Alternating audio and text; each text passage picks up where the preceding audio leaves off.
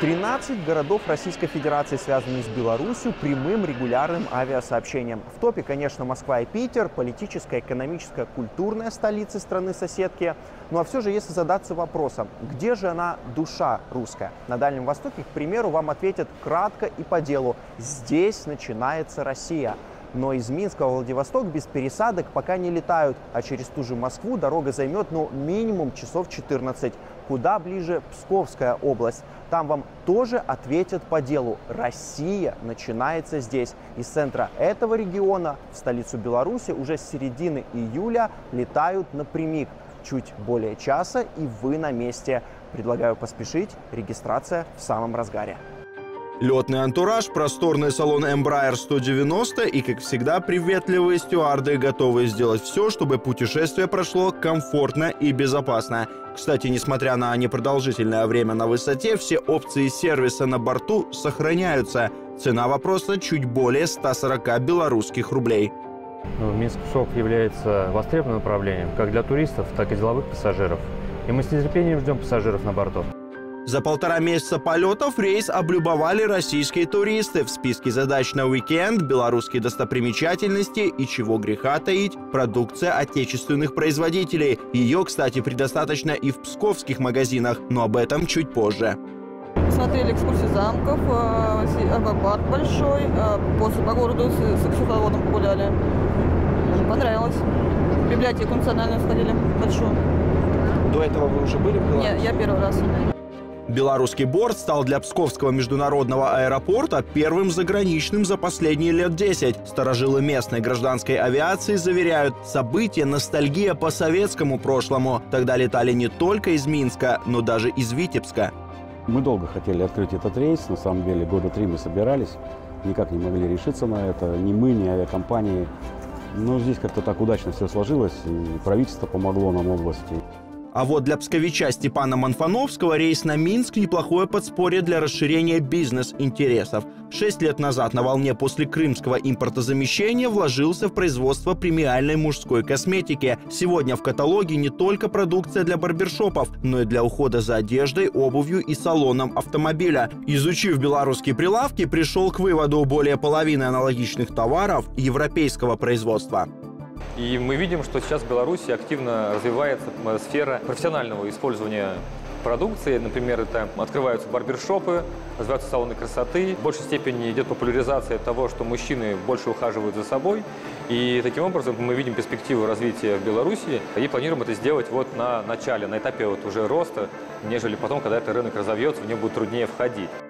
Беларусь среди ключевых экономических партнеров Псковской области. Да, за последние пять лет мы увеличили взаимный товарооборот вдвое, порядка 200 миллионов долларов за 2022 год. Но по оценке посла Дмитрия Крутого эта цифра далеко не предел. Можем и полмиллиарда. Назначая его на должность, президент еще раз просил уделить особое внимание БСП – Брянску, Смоленску, Пскову, или, как интерпретируют наши дипломаты, большому союзному приграничью.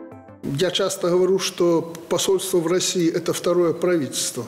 С точки зрения экономики это абсолютно точно. Суверенитет и независимость Беларуси, о чем вот так много говорят и подкидывают нам эти идеи из Запада, что мы чуть ли не теряем суверенитет и независимость нашей страны, сотрудничая с Россией. Так вот, хочу прямо сказать вам, как будущему представителю, не только президента нашей страны, в России суверенитет, независимость нашего государства вещи постоянные, это даже не обсуждается. Я в третий раз публично хочу повторить, что мы достаточно умные люди, и в России президент абсолютно вменяемый, понимающий, э, в каком направлении мы должны двигаться, поэтому, сохраняя независимость России, Беларуси, мы сможем выстроить такой союз, которому могут позавидовать и федеральные, и конфедера... конфедеративные государства, и, и, может, даже унитарное государство. За год каденции Дмитрий Крутой успел неоднократно встретиться с главами Смоленской и Брянской областей, теперь и с губернатором Псковщины. Кстати, у Михаила Ведерникова в самом разгаре электоральная кампания. Одним из аргументов в пользу переизбрания значится и транспортное сообщение с Беларусью. Сейчас основная задача – этот рейс раскатать. Он, скорее всего, будет пока что сезонным. Мы его продлили до конца октября. Работаем с нашими туроператорами, а, Попросили подключиться туроператоров из э, Минска тоже к этому э, вопросу. Знаю, что уже есть заявки от организованных групп. А, плюс мы обязательно будем школьные, студенческие обмены делать. Ну, важно, чтобы люди почувствовали этот рейс, э, поняли, что это удобно. Не нужно, как в больших мегаполисах, приезжать там за 3 за три с половиной часа в аэропорт, потому что и в Пскове небольшой, и в Минске не такой большой аэропорт, поэтому вполне комфортно можно приехать за час. В программе официального визита посла не только встречи с губернатором области и руководителями городов, хотя, конечно, личный контакт – основа продуктивного взаимоотношения. В повестке и посещение целого пула предприятий, которые уже имеют портфель контрактов с белорусской стороной или хотят сделать шаг навстречу. Узнаваемости пока очень мало. Есть какие-то хаотичные, по большому счету, контакты. Есть, конечно, договоренности, растет э, товарооборот.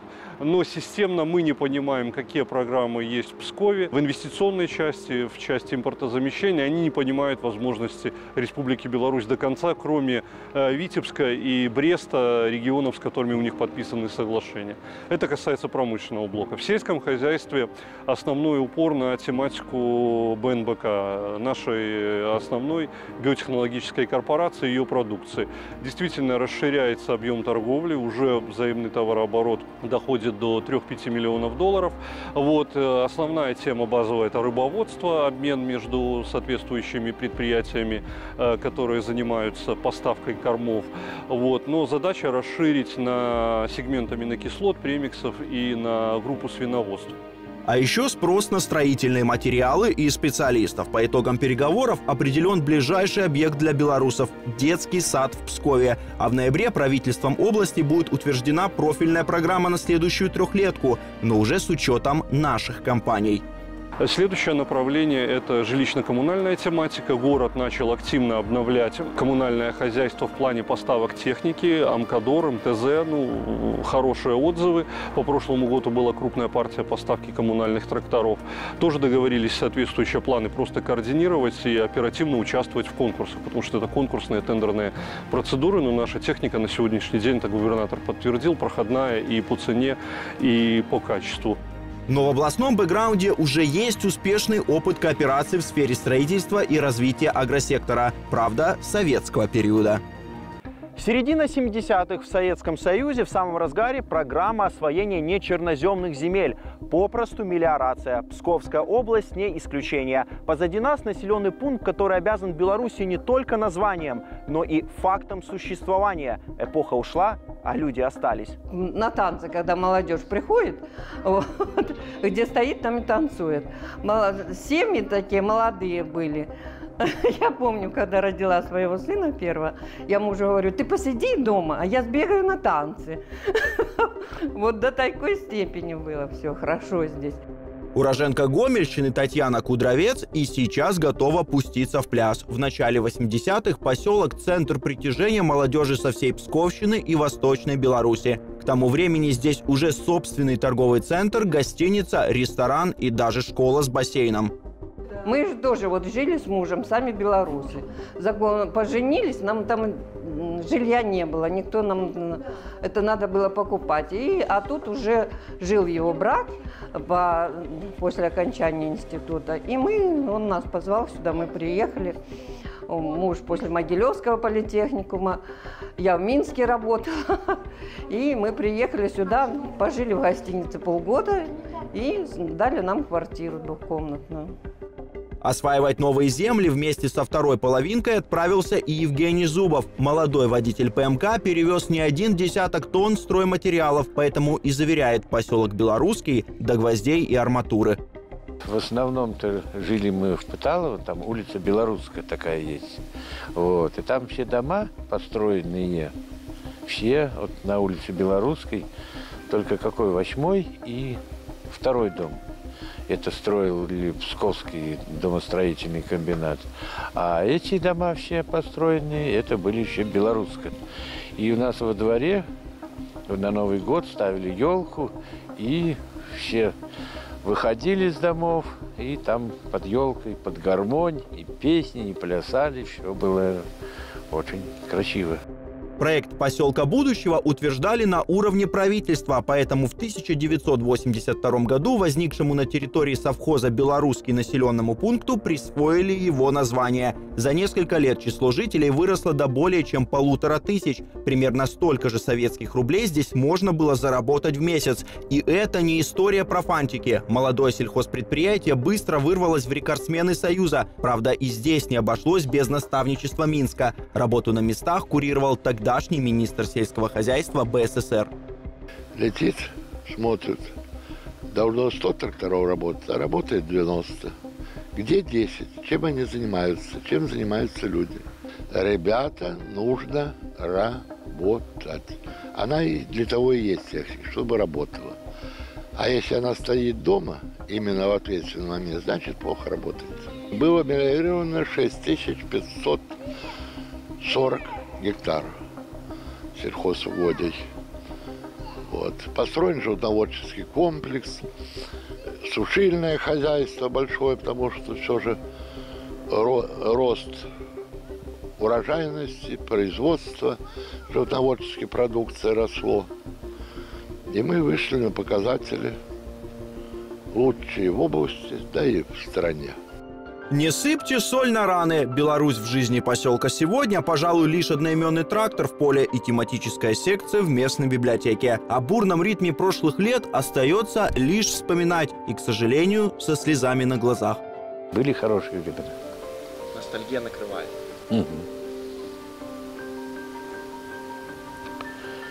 Нет, сейчас как-то совсем другой народ стал, другой мир. Раньше как-то дружнее жили. А сейчас как-то люди все по домам, по квартирам как-то уединились. Как-то нет такого. Но вернемся к отечественному на псковских прилавках. Приграничье говорит само за себя. По здешнему ассортименту молочки можно изучать географию Беларуси. Минск, Могилев, Брест, Горки, Полоцк. Фаворе у местных и наш Лехпром. В планах открытия большого фирменного шоурума. Если говорить об экономике области, но она объективно не аграрная, климат и почвы здесь не кубанские, хотя собственного сырья вполне хватает для местной мясомолочной отрасли. За ней, кстати, половина от общей доли в структуре промышленности. Тоже не направление лидер по общероссийским меркам, не такая яркая палитра красок, как в том же Красноярском крае. Ну, зато кто-то скажет, чистый воздух, первозданная природа, не испорченные исторические пейзажи. Да, именно на это и сделали ставку. Туризм с каждым годом только прибавляет. К слову, у ЖД и аэровокзалов гостей тоже встречают белорусы, но стоит отдать должное за последние непростые несколько лет, Псковская область по праву стала центром внутреннего туризма России. За 2022 год ее посетили более 450 тысяч путешественников, причем отдых предлагают как с акцентом на историю и старорусскую кухню, так и на спорт высших достижений. Местные воды облюбовали ценители сплавов на байдарках и каяках. Московская область в целом богата на большое историческое, архитектурное наследие. У нас в регионе почти 5 тысяч объектов культурного наследия. Поэтому у нас основная специализация – это культурно-познавательный туризм. Это музеи, сохранившиеся дворянские усадьбы, средневековые крепости, 10 храмов ЮНЕСКо. Также много красивых природных интересных территорий. Активно сейчас развивается у нас очень сельский туризм. Музей-усадьба Михайловская, где великий русский поэт Александр Пушкин написал более сотни своих произведений, стала отправной точкой вояжа по Псковской области спикеров Палаты представителей и Государственной Думы. Но, конечно, политиков топ-уровня сюда привели дела государственные. В рамках заседания Совета парламентского собрания Беларуси и России депутаты еще раз акцентировали внимание на антисанкционной повестке союзного государства. Ушли иностранные компании, освободились площадя производственные, и нам надо заполнять их. Э, наши предприятия, многие не полностью загружены. Ну, например, в Витебской области Аршанский льнокомбинат есть такой. Э, это современное предприятие, единственное на территории, будем говорить, Европы. Европы. Почему бы совместную продукцию там не производить из сырья, которую поставляла бы Псковская область. Мы считаем, что очень большие резервы сегодня в развитии туризма, об этом говорили, что надо все-таки выстраивать трансграничные маршруты. Вот я проехал 600 километров, будем говорить, из Минска до э, Пскова и от Витебска до Пскова 350 километров. Да, есть где-то какие-то точки питания, но это не то, что должно быть и по территории Беларуси, и России. Соседей надо знать. С этим точно не поспоришь, поэтому Псковщина, пожалуй, лучший вариант для первого знакомства. Здесь вы точно найдете ответ на вопрос, с чего же начинается Россия. А зеленый здесь не только контраст картинки, но и свет белорусским бизнесменам, для которых прямой авиарейс из Минска – еще одна возможность побыть на высоте.